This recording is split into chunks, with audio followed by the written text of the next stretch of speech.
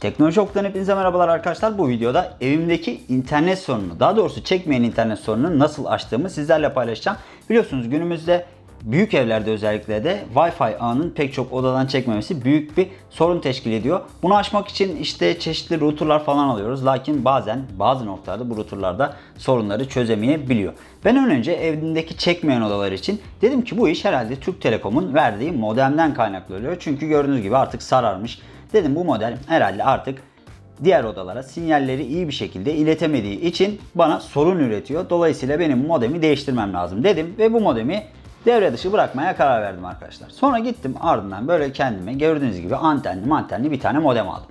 Lakin baktım ki sorun modemde değil. Çünkü bu antenlere rağmen bu modem de içeriki odalarda iyi çekmiyordu. Dolayısıyla dedim ki herhalde benim bir tane Wi-Fi güçlendirici almam lazım dedim. Ve gittim kendime bu router yani bu sinyal güçlendiriciyi aldım. Biliyorsunuz bu çeşitli odalara takıyorsunuz. Sinyali güçlendirerek yaymaya yarıyor.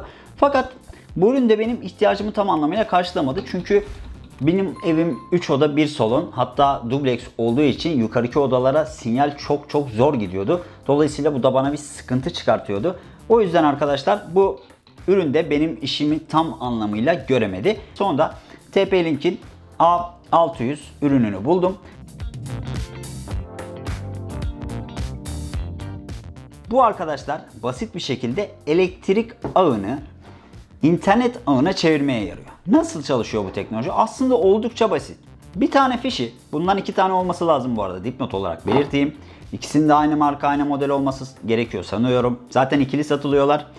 Bunu modeminize takıyorsunuz. Modeminizi şuradan ethernetini taktınız. Daha sonra arkadaşlar bunu prize takıyorsunuz. Buraya arkadaşlar bir priz yuvası yapmış. Bu sizi şaşırtmasın. Tamamen hani bunu prize taktığınız zaman priziniz dolmasın diye buraya da ekstra bir priz yuvası takmışlar. Bunu da belirteyim. Bunu prize taktıktan sonra evinizdeki tüm elektrik ağı o an için internet ağına dönüşüyor. Şurada bunu ikinci versiyon var. Bunu taktığınız priz interneti aldığınız yer oluyor. Yani bunu atıyorum mutfağa taktınız. Ethernetten hop ne yapabiliyorsunuz? İnterneti alabiliyorsunuz. Ya da bunu mutfağa taktınız diyelim. Bunlarda Wi-Fi özelliği bulunmuyor bu arada. Wi-Fi özellikli versiyonları da var ama ben bunu aldım. Bunu internete, bunu prize taktınız diyelim. Şu Wi-Fi güçlendiriciyi şöyle takıp router'ı. Dilerseniz buradan hop buraya Ethernet'i takarak ne yapabiliyorsunuz? Bundan daha çok daha güçlü sinyal alabiliyorsunuz. Hadi bunu da geçtim diyelim. Şu eski modeminiz varsa eğer evde iki tane modem de varsa ne yapabiliyorsunuz? Router olarak ayarlıyorsunuz modeminizi. Bunu fişe takıp Ethernet'i modeminize taktığınızda istediğiniz odaya ikinci modeminizi kurmuş oluyorsunuz. Peki şimdi bu sistem nasıl çalışıyor? O kadar basit dedik ya. Şimdi bunu size canlı olarak göstereceğim. Ne yapacağım? Bunun bir tanesini modemime bağlayacağım.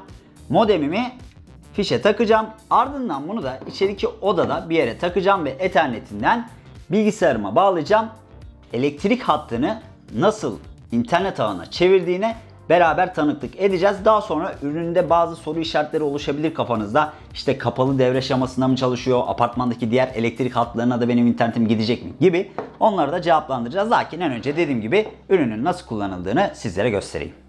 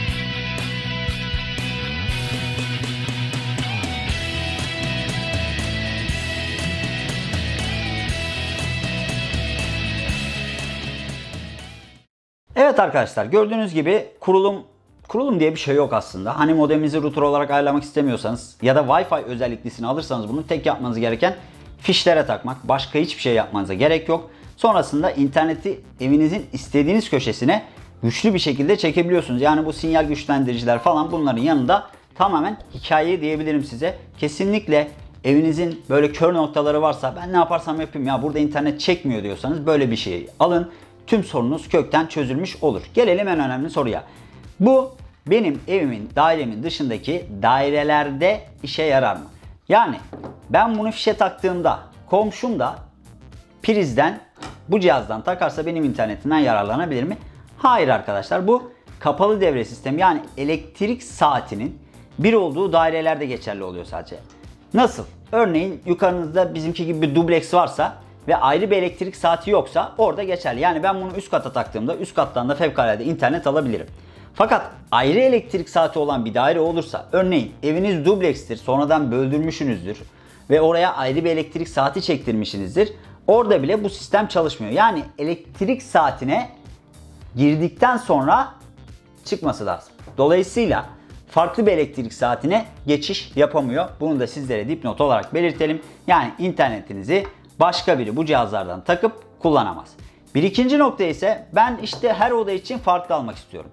Bundan arkadaşlar zaten iki tane çıkıyor dedim ya. Atıyorum iki tane aldınız ne oldu? Dört tane.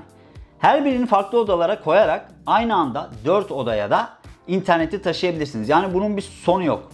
Evinizdeki priz sayısı kadar şu cihazlardan takarak interneti taşıyabiliyorsunuz. Bu da gerçekten çok iyi bir teknoloji ve dediğim gibi internet sorununuzu kökten çözebileceğiniz en garantili teknoloji diyebilirim. Çünkü ben birçok şey denedim. Size de videonun başında bahsettim ya. Bir sinyal güçlendiriciler aldım. Ki 2-3 tane sinyal güçlendirici denedim. Hani bu dediler iyi değil şunu al, şu daha kötü bunu al. Denedim denedim hiçbiri istediğim verimi vermedi. Ta ki bununla karşılaşana kadar bu tamamen bütün bu çekme mekme hikayesini ortadan kaldıran gerçekten çok alternatif bir ürün diyebilirim. Başka bir videoda görüşmek üzere. Hoşçakalın arkadaşlar. Bizleri sosyal medya hesaplarımızdan takip etmeyi unutmayın diyorum. Ve şunu da belirteyim sizlere. Eğer bu ürünlerle ilgili kafanızda bir soru işareti varsa videoda yazın. Ben size o soruları da cevaplayacağım. Görüşmek üzere.